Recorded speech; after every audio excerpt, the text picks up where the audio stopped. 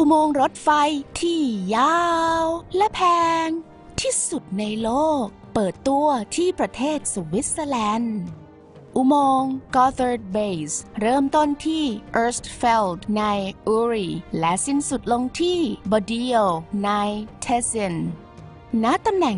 2.3 กิโลเมตร ใต้เทือกเขาแอลป์ทำให้อุโมงค์แห่งนี้เป็นอุโมงค์รถไฟที่ลึกที่สุดในโลกด้วย อุโมงค์ที่ใช้ระบบแทร็กทางเดียว2เส้นที่เชื่อมโยงกับเส้นทางการหลบหนีฉุกเฉินแห่งนี้ ยังถูกปกคลุมด้วยคอนกรีตและวัสดุกันน้ำที่จะช่วยให้น้ำจากเทือกเขา ไหลลงกำแพงด้านข้าง สู่ท่อแล้วก็ระบายออกไปทางด้านใต้ของอุโมงค์รถไฟยังจะได้เดินทางบนทางราบเกือบตลอดทั้งสายทำให้สามารถเพิ่มความเร็วจนถึงความเร็วสูงสุดที่ 250 กิโลเมตรต่อชั่วโมง อุโมงค์แห่งนี้จะสามารถลดเวลา1ชั่วโมงจากการเดินทางโดยรถไฟ ระหว่างซูริกและมิลาน ให้เหลือเพียงแค่ 3 ชั่วโมงเท่านั้นเอง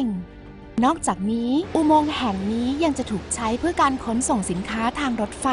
โดยมันสามารถให้บริการรถไฟบรรทุกสินค้าราว 260 ขบวนต่อวัน แทน 180 ขบวนเมื่อใช้เส้นทางในปัจจุบัน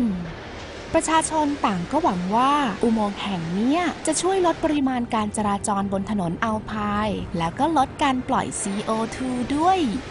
ความยาว 57 กิโลเมตรทำให้อุโมงค์แห่งนี้แซงหน้าอุโมงค์เซคันของญี่ปุ่น และอุโมงค์ระหว่างอังกฤษกับฝรั่งเศส ก่อนจะคว้าตำแหน่งอุโมงค์ยาวที่สุดในโลกไปครอง อุโมงค์สุด Amazing แห่งนี้ใช้เวลาในการสร้างนานถึง 17 ปี และน่าจะเปิดใช้งานได้จริงในเดือนธันวาคม สนมะ